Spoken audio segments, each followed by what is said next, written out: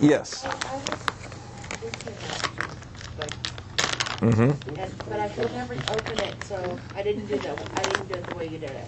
I know. It's got little holes in it. Yep, this is- I couldn't get the stuff out. But when I drank the juice, it made me feel really full. Yep, it is. More than anything. And in fact, one of the things that's unique about, about coconuts is in World War II, when we had some people who were bleeding because they had a lot of holes in them from bullets and things, uh, they were running out of blood very quickly. And somebody found out that if you hooked up an IV to a coconut, the, the juice inside here is sterile. It has a very similar consistency to plasma, and many, many lives were saved using coconut IVs. So this is not a liquid, this is a food. I know, it's cool, huh? I know. And then um, the Mayans came up with a powder called coca. They called it the food of the gods. And it's actually huge antioxidant properties. So this, I'm just going to put a couple of uh, tablespoons in there. Now this is unsweetened raw coca powder. So, you get that? Mother's Market. You guys have a lot of shopping others. Yeah, well, I live right around the corner. Okay, then, so now we've got the electrolytes, and then here we've got a couple of frozen bananas. Now, I froze these last night. Now, the frozen bananas loaded with potassium.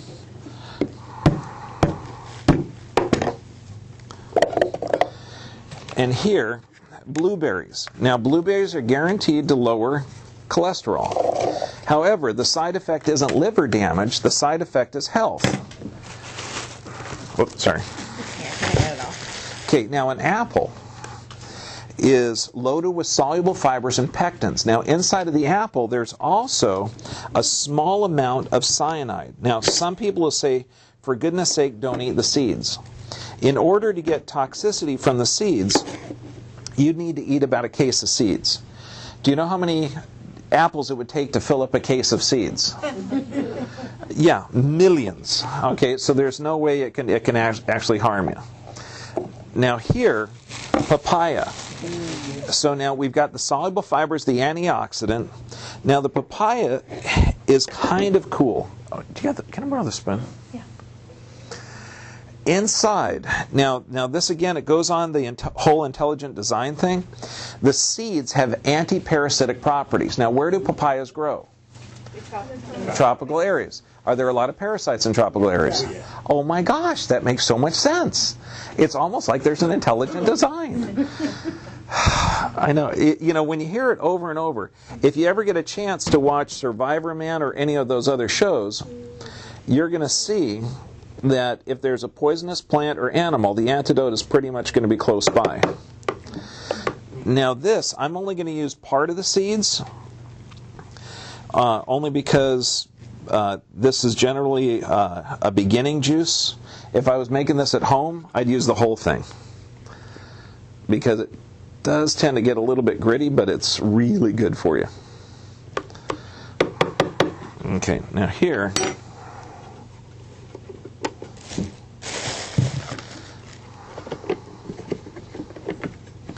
Now, if you wanted a little sweeter, you could toss in a couple of tablespoons of agave syrup, but it's just it's just gosh darn good. And this is like a healthy, delicious, nutritious dessert. Yes. I have a question on the agave. Does that also, like stevia, have no effect on your blood sugar It, it has a little effect, like the, it has a low glycemic index. There's a lot of other stuff you can use, like stevia, if you've got any diabetic properties. But diabetes is so easy to reverse.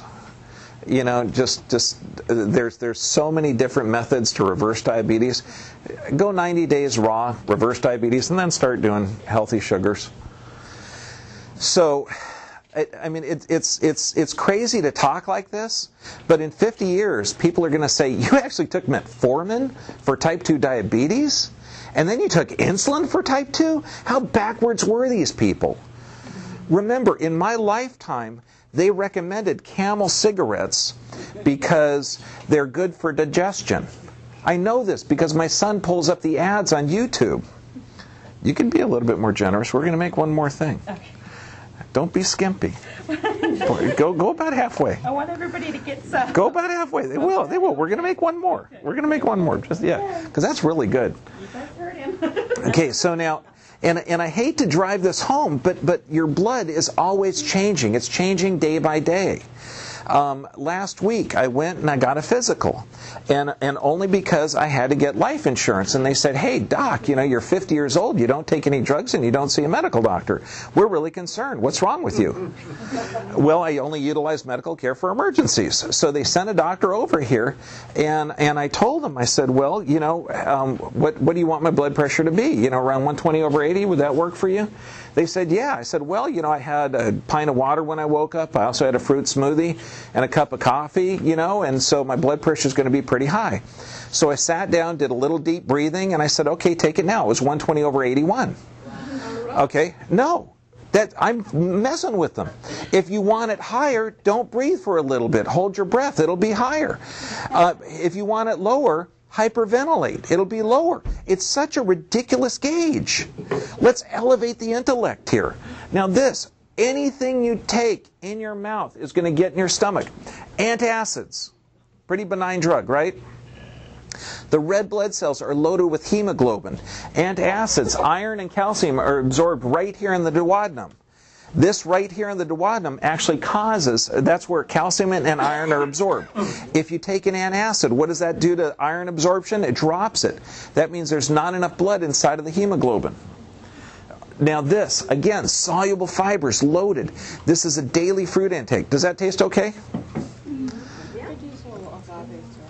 A little little sweeter with the agave? Yeah, yeah, because I did. I put a lot of, lot of chocolate in there. Now here, so again, when you start looking at this, what are you what are you putting in your body? If you take a cholesterol drug or a heartburn drug or arthritis drug, this all gets in the stomach. It gets in the stomach into the intestine. So it's a radical different view. Cholesterol drugs are not specific for the liver. Heartburn drugs are not specific for the stomach. This isn't real specific for those certain areas. Does that does that make sense? and hypercholesterolemia. Okay, this is an invented disease. It's a theory that cholesterol clogs arteries, and it doesn't. Cholesterol doesn't clog arteries. Arteries are only um, sealed up from long term arterial damage. And when we talk in a couple of weeks on cholesterol, you're going to learn more in detail, but know that cholesterol is there as a protective mechanism.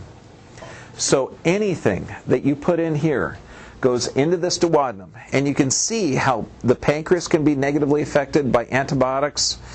You can see how the spleen is right here, how the liver's right there. So this area here is intimately involved in how blood's produced. Does, does that make sense?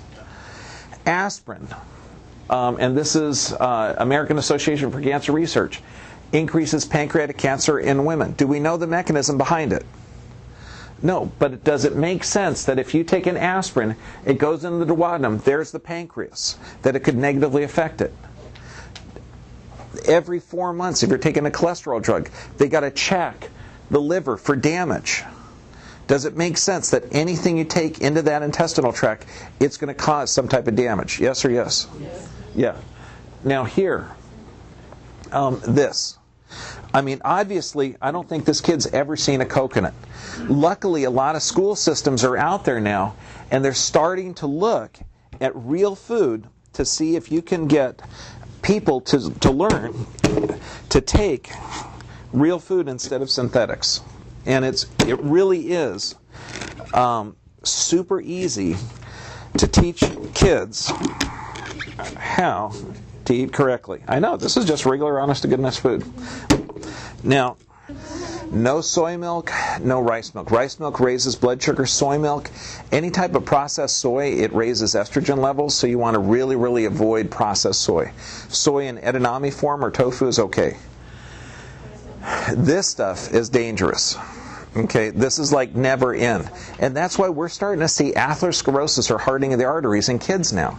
And that's just ridiculous. So adding tofu to that. Yuck. No, I, I mean, that would be healthy.